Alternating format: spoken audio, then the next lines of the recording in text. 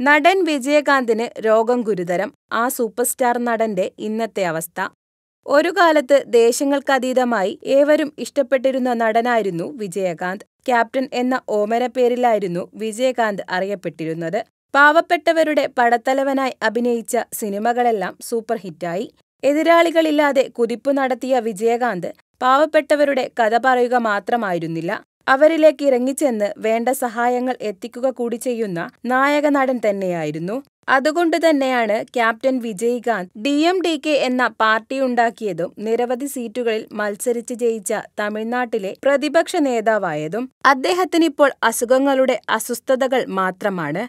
കുറച്ചു മുമ്പ് ഒരു സ്ട്രോക്ക് വന്നു. അതിൽ നിന്ന് ഒരുവിധം മോചിതനായി ഭാര്യ പ്രേമലതയ്ക്കൊപ്പം മറീന ബീച്ചിലെത്തിയതിന്റെ ഫോട്ടോ വന്നിരുന്നു. അതിനിടയിലാണ് സെപ്റ്റംബർ ഇരുപത്തിരണ്ടിന് താരത്തിന് കോവിഡ് പോസിറ്റീവ് ആകുന്നത് അന്ന് തന്നെ ചെന്നൈ മിയോട്ട് ആശുപത്രിയിൽ പ്രവേശിപ്പിച്ചു. പത്ത് ദിവസം ചികിത്സ പൂർത്തിയാക്കി ആശുപത്രി വിട്ടെങ്കിലും കോവിഡ് നെഗറ്റീവ് ആയിരുന്നില്ല രോഗലക്ഷണങ്ങൾ രൂക്ഷമായതിനെ തുടർന്ന് വീണ്ടും ആശുപത്രിയിലാക്കി. എന്നാൽ അദ്ദേഹത്തിന്റെ party D M D K പുറത്തിറക്കിയ വാർത്താക്കുറിപ്പിൽ താരം വീട്ടിൽ ഐസൊലേഷൻ നിലയിലാണെന്നാണ് പറയുന്നത്.